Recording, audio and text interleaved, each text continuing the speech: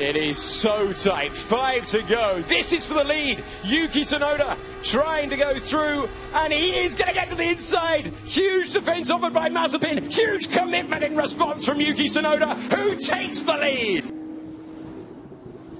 Guan Yu Zhou right now trying to take third, but Guan Yu Zhou, who is the lead driver on the alternative strategy, is going to be shown the pit wall and gets out of it. Guan Yu Zhou still a second of Jehan Daruvala. It is not enough to give him the title if he makes that move. We're focusing, oh, that's really close once again on Mazepin. Scores continue, but he's out of the championship because Mick Schumacher scored as well.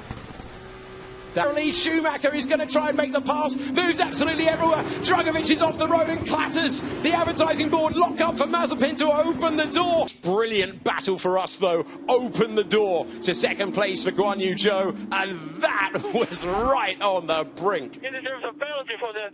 What the?